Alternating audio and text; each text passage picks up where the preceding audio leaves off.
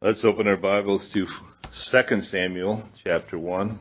If you'll remember last time, uh, Saul and his three sons, Jonathan and his two brothers, were all killed in battle.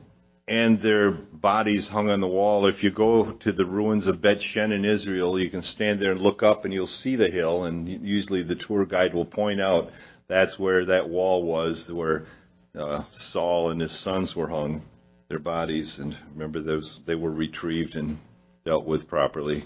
Now, as we enter the second book of um, Samuel, Second Samuel, now David's going to hear of Saul's death. Now it came to pass after after the death of Saul, when David was returned from the slaughter of the Amalekites, and David had abode two days in Ziklag. As it turns out, Amalek, by the way, was Esau's grandson, just as a piece of trivia. It, it, came even to pass on the third day that, behold, a man came out of the camp from Saul with his clothes rent and earth upon his head. And so it was when he came to David that he fell to the earth and did obeisance. And David said unto him, From whence comest thou? And he said unto him, Out of the camp of Israel am I escaped. And David said unto him, How went the matter? I pray thee tell me. And he answered, That the people are fled from the battle, and many of the people also are fallen and dead. And Saul and Jonathan his son are dead also. So Ziklag, about a hundred miles away, guy comes and his clothes are torn. He's got dirt on his head, says earth on his head. And that was a traditional form of, of mourning. They would tear their clothes, and even in the n- new tradition of the Jews, oftentimes the, the men will have a pocket like half sewn on, so if they have to tear their clothes, they can tear that pocket off, and it's easily sewn back on again. But uh, that was the tradition of mourning, was to tear their clothing and, and throw dirt up in the air and let it land in their head and in their hair. So as David learns of Saul and Jonathan's uh, death while he's still in Ziklag, living still amongst the Philistines, um, realizing his own deliverance, that God had had his hand upon him, delivered him uh, since that disaster at, at Ziklag. In verse 5, let's read through to verse 10. And David said unto the young man that told him, How knowest thou that Saul and Jonathan his son be dead? And the young man that told him said, as I happened by chance upon Mount Gilboa, behold, Saul leaned upon his spear. And lo, the chariots and horsemen followed hard after him. And when he looked behind him, he saw me and called unto me, and I answered, Here am I. And he said unto me, Who art thou? And I answered him, I am an Amalekite.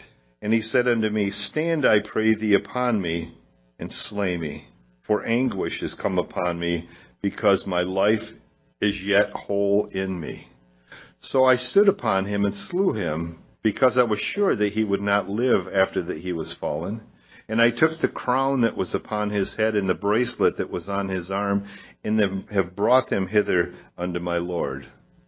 Well, if you look at the, the story back in chapter 31 of 1 Samuel, it, it says that uh, Saul fell on his own sword that he killed himself because he didn't want them to have access to him. Is this a contradiction in Scripture? I guess we have to ask, well, who's telling the truth here?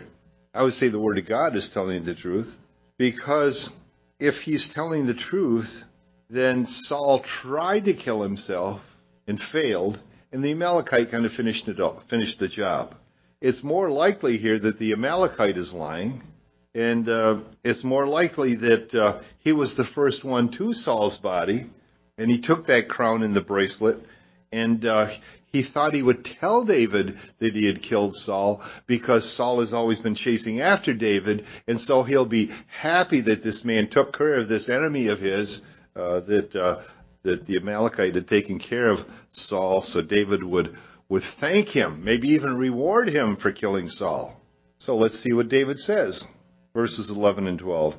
Then David took hold on his clothes and rent them, and likewise all the men that were with him. And they mourned and wept and fasted until evening for Saul and for Jonathan his son, and for the people of the Lord, and for the house of Israel, because they were fallen by the sword. So you, here's the Amalekite thinks, well, I'm going to make some points here. I'm going to take out David's enemy. What is David's reaction here? He's mourning for Saul, this man that's been chasing him, trying to kill him.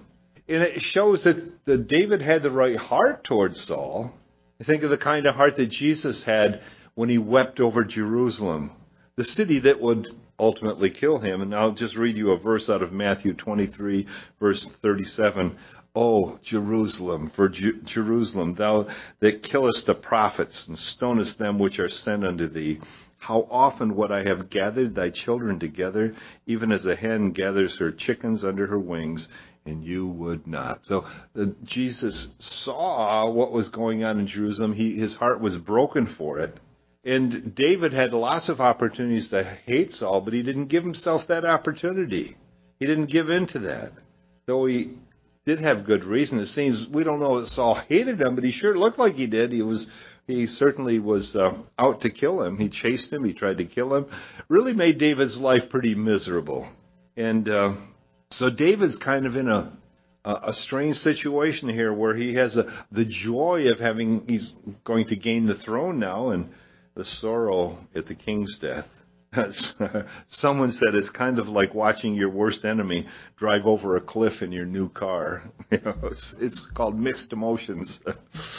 So, but uh, remember this: that when we choose to hate someone, uh, we become slaves in bondage to our emotions, and uh, we actually give our enemy victory over us uh, when our because it's it's called a root of bitterness, and roots grow, grow slowly and deeply, and they uh, they when they entangle our heart, they embitter our heart. And bad place to go. Verse thirteen. And David said unto the young man that told him, Whence art thou? And he answered, I'm the son of a stranger, an Amalekite. And David said unto him, How wast thou not afraid to stretch forth thine hand to destroy the Lord's anointed? See how he refers to Saul? Not as that guy who was trying to kill me, but this is the Lord's anointed. And God, David called one of the young men and said, Go near and fall upon him. And he smote him that he died. And David said unto him, Thy blood be upon thy head, for thy mouth hath testified against thee, saying, I have slain the Lord's anointed. Now, Scripture doesn't say he did, but he claimed to have, trying to gain some benefit for himself. So David executed the, the Amalekite. Why? Because he had claimed to kill the Lord's anointed King Saul. Notice he called him the Lord's anointed, not the guy who's been chasing after me, not the guy that I've been running from, but God's anointed.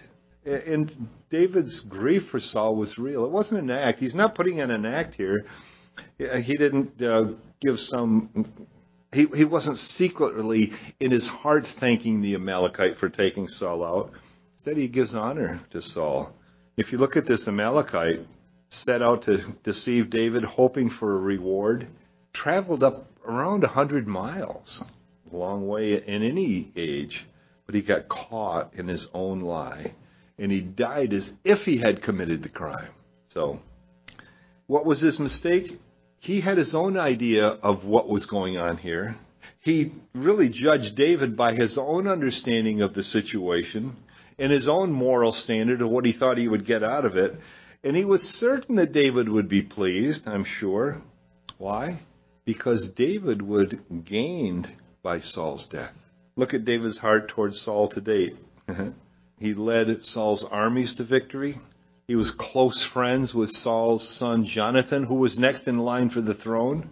At one point in time, remember, he, he played the harp to calm Saul, and what did Saul do? He ended up taking up a, a spear and throwing at him. He actually had several opportunities in caves uh, where, where Saul didn't know he was there, and he could have killed Saul and didn't. And uh, David recognizes God's sovereign hand on God's anointed, both Saul and he.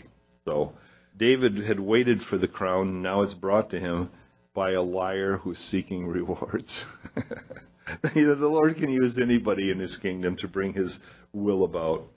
Uh, and the, it was the Amalekites that burnt Ziklag, and uh, it was the Amalekite that led David to uh, the stolen stuff after Ziklag. and now it's an Amalekite that claims to kill Saul. It was the Amalekite that brought Saul's crown and his bracelet to David. And this Amalekite had a pretty low moral code here, you can see, and he had a low opinion of David too. He expected he would behave the way he wanted him to behave, trying to bring David down to his own level, and pleased and willing to gain through Saul's death. The king. How many people today are willing to gain at the expense of others? Heart of mankind maybe hasn't changed a lot in the last few thousand years. This is, according to my Bible, this is taking place at about 1056 BC, so it's about 3,000 years ago. heart of man's still the same. Verse 17, I want to read right through to 26. And David lamented with his lamentation over Saul and over Jonathan his son. Also he bade them teach the children of Judah the use of the bow. Behold, it is written in the book of Jasher, The beauty of Israel is slain upon thy high places. How are the mighty fallen? Tell it not in Gath, publish it not in the streets of Ashkelon, Ascalon, lest the daughters of the Philistines rejoice, lest the daughters of the uncircumcised triumph. Ye mountains of Gilboa, let there be no dew, neither let there be rain upon you, nor fields of offerings, for there, for there the shield of the mighty is vilely cast away, the shield of Saul, as though he had not been anointed with oil. For the blood of the slain, from the fat of the mighty, the bow of Jonathan turned not back, and the sword of Saul returned not empty. Saul and Jonathan were lovely and pleasant in their lives, and in their death they were not divided. They were swifter than angels or eagles. They were stronger than lions. You daughters of Israel, weep over Saul, who clothed you in scarlet, with other delights, who put on or- ornaments of gold upon your apparel. How are the mighty fallen in the midst of the battle? John, o Jonathan, thou wast slain in thine high places. I am distressed for thee. My brother Jonathan, very pleasant hast thou been unto me. Thy love to me was wonderful, passing the love of women.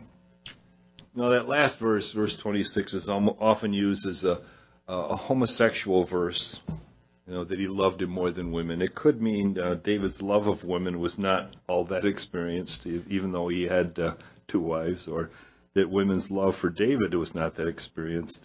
Anyway, either way you look at it, the David and Jonathan did share a special love for one another, man to man. They had a deep godly love for each other, not homosexual. That's not what this is saying. In our present world today has trouble believing and understanding that a love can be deep and real without having a, a sexual aspect to it. We know it can be though. Uh, verse 27, how are the mighty fallen and the weapons of war perished? So uh, David is lamenting for Saul and Jonathan, and he mentions the book of Jasher. It turns out the book of Jasher uh, is also mentioned in Joshua 10:13. Uh, it's evidently a collection of early poetry. It, it's not what we call a missing book of the Bible. It was it was another book written in that time. It's just because it's mentioned, it doesn't mean it's part of the canon of Scripture. It doesn't mean it's inspired or missing. There's one called the Gospel of Thomas also, uh, called a missing gospel of Jesus. But this Song of the Bow shows David's true feelings for Saul and for Jonathan. And, and David makes some points here. He calls Saul the beauty of Israel. He says that no one's to rejoice in Saul's death, but that everyone should mourn. And he says even the mountains and the fields praise Saul as a mighty warrior. He calls Israel to mourning, to mourn their king, and praises Saul for the good that he's done for Israel. It wasn't all bad. And chasing David is one of the things we hear a lot about, but Saul wasn't all bad for Israel. And he uh, he mourns for Jonathan. Jonathan was very near and dear to his heart. He remembers their their deep and their committed friendship to one another. And consider Jonathan how he loved David. Think about it. He was next in line for the throne. He gave up the throne for David because he saw that David was the next anointed. He saw David as God's next chosen king. And David's experience with women in love was not that great, at least in the beginning. Multiple marriages he had kept him from experiencing God's ideal, which is one spouse, one mate, one woman as a close love and companion for life. But notice what is missing here, and that's bitterness. There's not a bitterness in David's heart that he's giving out here. David could have lived his life in bitterness for Saul, uh, for the way Saul was treating him as he was only trying to serve him. The work of God's grace removed that bitterness. Paul, I love what Paul said in the Apostle Paul in 2 Corinthians 12:9. God said to Paul, "My grace is sufficient for thee, for my strength is made perfect in what? Weakness." Most gladly, therefore, will I rather glory in my infirmities, that the power of Christ may rest upon me. Now, David's natural reaction, we would think it would be, be grateful at Saul's death. Relief, finally, that he's not being chased and persecuted and he can return home now, and he doesn't have to worry about Saul chasing him. And, and uh, the realization that uh, uh Samuel's prophecy, when he anointed him with oil, is going to come true. And, and let me just go back to 1 Samuel 16. I want to read verses 11 through 13. Samuel said to Jesse, uh, David's thinking about this, Are here all thy children? And he said, Well, there remains yet the youngest, and behold, he keeps the sheep. And Samuel said to Jesse, Send and fetch him, for we will not sit down till he comes here. And he sent and brought him in, and now he was ruddy and withal of a beautiful countenance, and goodly to look at look to. And the Lord said, Arise, anoint him, for this be he. Then Samuel took the horn of oil and anointed him as David in the midst of his brethren, and the Spirit of the Lord came upon David from that day forward. So Samuel rose up and went to Ramah indication that David early had the Spirit of God on him, and that maybe that was what gave him the strength to wait, wait. And, and David seems really concerned with uh, the death of God's anointed, that the God of Israel is not dishonored. That's a good way to look at things. That the Lord is first in his life. David was able to separate Saul from his sin. Saul made David a fugitive, and yet David is honoring Saul because at this point in time he's God's man of the hour, but uh, he didn't look at Saul with bitterness, with hatred for the way he had treated him, David, but with pity and sorrow for the, the sins that Saul had done, which he needed not to do. And we should have an attitude of brokenheartedness towards sinners, too, pity, maybe, in sorrow, and, and pray their blindness be removed. We were all blind at one point, and now we see. Hallelujah but it was God who opened the eyes. um, 2 Samuel chapter 2. David and Ishbosheth. As it, and it came to pass after this that David inquired of the Lord, saying, Shall I go up into any of the cities of Judah? And the Lord said unto him, Go up. And David said, Whither shall I go up? And he said, To Hebron. I like that. I like the brevity of it, right? Not a great paragraph or anything. See, that would fit on a post-it note.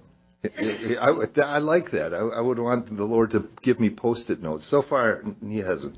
But uh, that's a nice way. You get up in the morning, you go to the fridge, and there's a post-it note of what you're to do that day.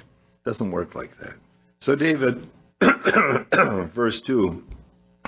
So David went up thither, or went up there, and his two wives also Ahinoam the Jezreelitess, and Abigail, Nabal's wife, the Carmelite.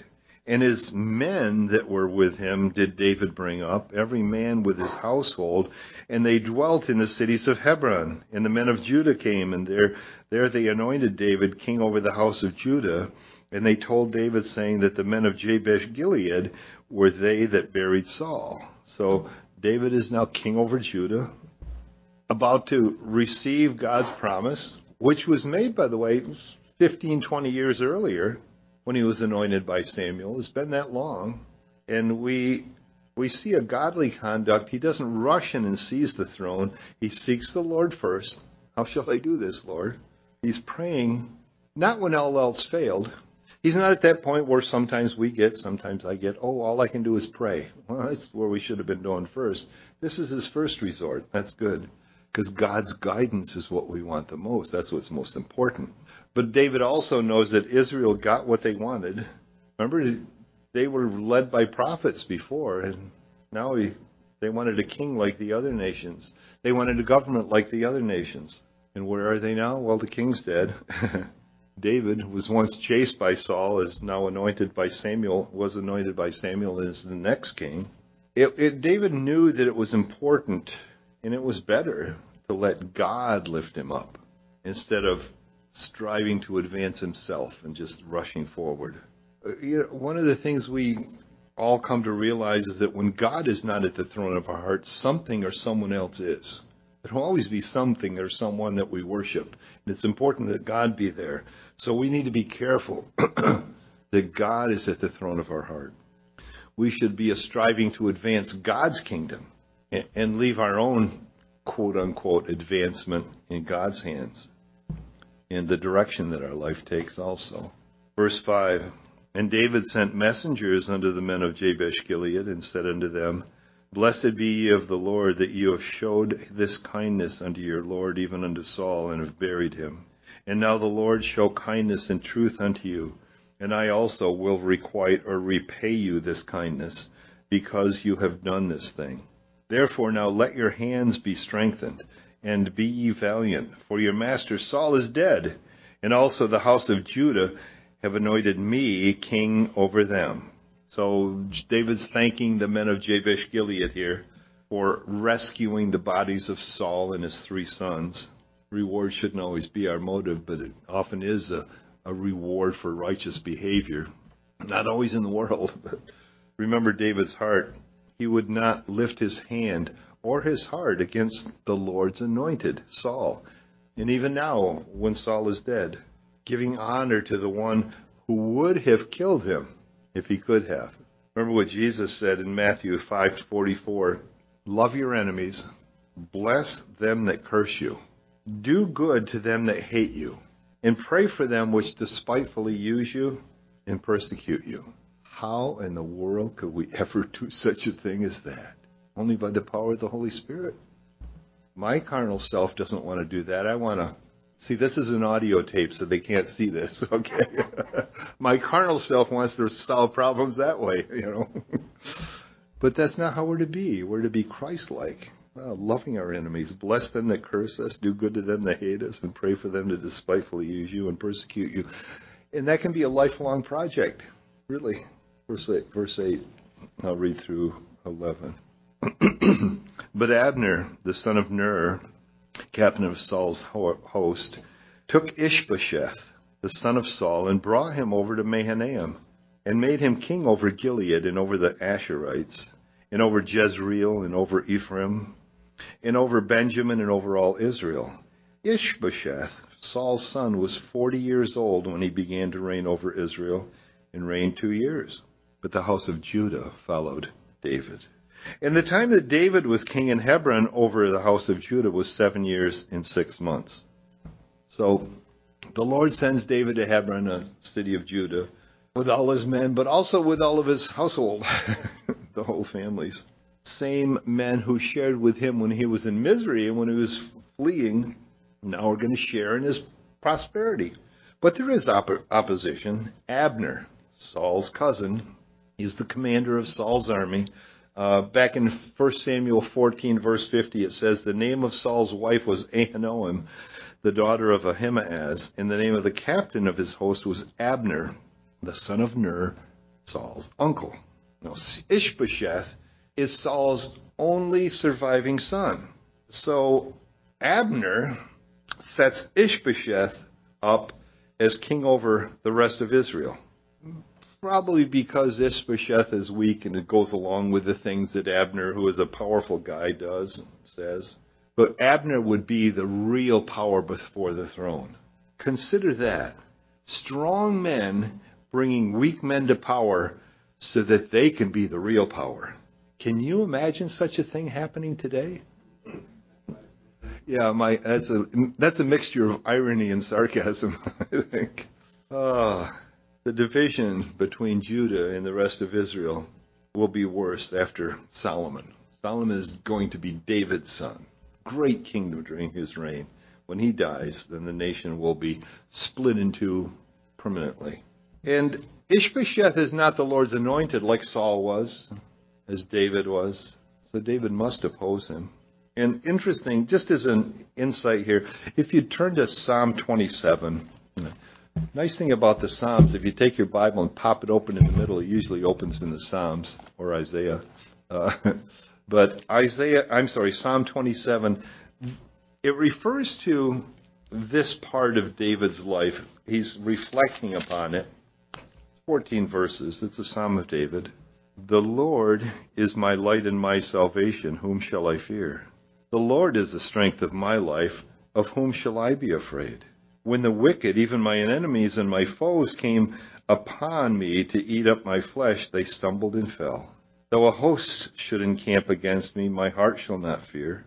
Though war should rise against me, in this will I be confident. One thing have I desired of the Lord, that will I seek after, that I will dwell in the house of the Lord all the days of my life, and behold the beauty of the Lord, and to inquire in his temple. Does that sound familiar? It's a verse out of one of the songs we sing, out of one of the hymns. For in the time of trouble, he shall hide me in his pavilion. In the secret of his tabernacle shall he hide me. He shall set me upon a rock. That rock is Christ. And now shall mine head be lifted up above mine enemies round about me. Therefore will I offer in his tabernacle sacrifices of joy. I will sing, yea, I will sing praises unto the Lord. How, O Lord, when I cry with my voice, or hear, O Lord, when I cry with my voice, have mercy also upon me, and answer me. When thou saidst, Seek, my fa- seek ye my face, my heart said unto thee, Thy face, Lord, will I seek. Hide not thy face from me. Put not thy servant away in anger. Thou hast been my help. Leave me not, neither forsake me, O God of my salvation. When my father and my mother forsake me, then the Lord will take me up. Teach me thy way, O Lord, and lead me in a plain path because of mine enemies. Deliver me not over the unto the will of mine enemies, for false witnesses are risen up against me, and such as breathe out cruelty. I had fainted unless I had believed to see the goodness of the Lord in the land of the living. Wait on the Lord. Be of good courage, and he shall strengthen thy heart. Wait, I say, on the Lord. Waiting, isn't that one of the hardest? It's a good prayer uh, when in trouble. Let's look at verses 12 through 17 now. Back to 2 Samuel chapter 2. And Abner, the son of Ner, and the servants of Ishbosheth, the son of Saul, went out to Mahanaim to Gibeon. And Joab, the son of Zeruiah, and the servants of David went out, and met together by the pool of Gibeon, and they sat down, the one on the one side of the pool, and the other on the other side of the pool. And Abner said to Joab, Let the young men now arise and play before us. And Joab said, Let them arise. Then there arose and went over by number twelve of Benjamin, which pertained to Ishbosheth, the son of Saul, and twelve of the servants of David. And they caught every one his fellow by the head, and thrust his sword in his fellow's side, so they fell down together. Wherefore that place was called Helkath Hazzurim, meaning field of swords, which is in Gibeon. And there was a very sore battle that day and Abner was beaten and the men of Israel before the servants of David.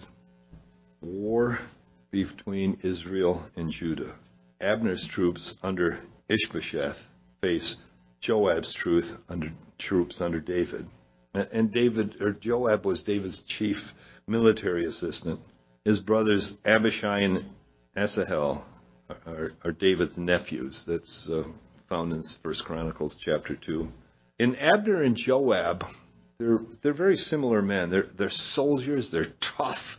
They're they're very hardened for battle. Uh, they're very mean, but they're completely devoted to their leadership, to their leader. And the soldiers lined up against each other for a contest. It was just meant to be like a sporting event or a, a, a duel. 12 against 12, 12, and it degenerates into a bloodbath and it would appear that perhaps all died. I'm not certain of that. In verse 18 says, And there were three sons of Zeruiah there, Joab and Abishai and Asahel. And Asahel was as light of foot as a wild roe. he was a good runner, very light on his feet. And Asahel pursued after Abner, and in going he turned not to the right hand nor to the left from following Abner. You can see Abner, you know, he's got his gear on, he's plodding along, and he's got his spear in his hand, and this this uh, Asahel is running along behind him, taunting him. And Abner looked behind him and said, Art thou Asahel? And he answered, I am. And Abner said to him, Turn thee aside to thy right hand or to thy left, and lay thee hold on one of the young men, and take thee his armor. In other words, get ready for battle. But Asahel would not turn aside from following of him. And Abner said again to Asahel, Turn thee aside from following me. Wherefore should I smite thee to the ground? How then should I hold up my face to Joab thy brother? Albeit he refused to turn aside, wherefore Abner, with the hinder end of his spear, which was sharpened to a point, by the way, he smote him under the fifth rib, that the spear came out behind him, and he fell down there and died in the same place. And it came to pass, pass that as many as came to the place where Asahel fell down and died, they stood still. So Zeruiah, David's sister, Zeruiah, Asahel is David's cousin, and uh, certainly in a warrior, fleetness of foot is is important. But uh, Asahel was very ambitious. Joab was the general. He's pursuing the general, really, of the enemy at this point and he was warned to turn back. He was warned to just quit bugging me, yield, get away from here. And uh, Abner's spear, which was sharpened at one end, would use it to stick it in the ground. He just thrust backwards when he got too close. And uh, not sure what Asahel was carrying, but Abner killed him in self-defense, we think. And now he's thinking, how am I going to face your brother Joab? And, you know, Abner was a mature and older guy. Asahel's this young guy, really light on his feet. Thought he'd either taunt or maybe come in close enough to take a couple of swings at him. At him, thought himself superior to an old man. Common can be a common and, nat- and a natural misconception, but because of his self-confidence, this is what brought him down. Not fearing the opposite end of the spear, which was far from blunt, trusting and very proud of his speed and his lightness of foot.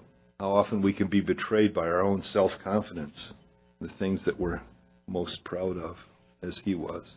That's uh, verse 24. I'm going to read to the end of the chapter. So Joab also and Abishai pursued after Abner, and the sun went down when they were come to the hill of Ammah, that lieth before Giah by the way of the wilderness of Gibeon. And the children of Benjamin gathered themselves together after Abner, and became one troop and stood on the top of a hill. Then Abner called to Joab and said, Shall the sword devour forever? Knowest thou not that it will be bitterness in the latter end? How long shall it be then ere thou bid the people return from following their brethren?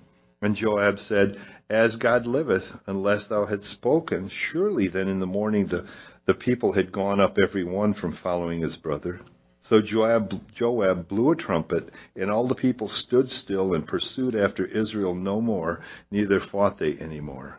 And Abner and his men walked all that night through the plain, and passed over Jordan, and went through all Bithron, and they came to Mahanaim. And Joab returned from following Abner, and when he had gathered all the people together, there lacked of David's servant nineteen men, servants nineteen men, in Asahel. But the servants of David had smitten of Benjamin and of Abner's men, so that three hundred and threescore men died.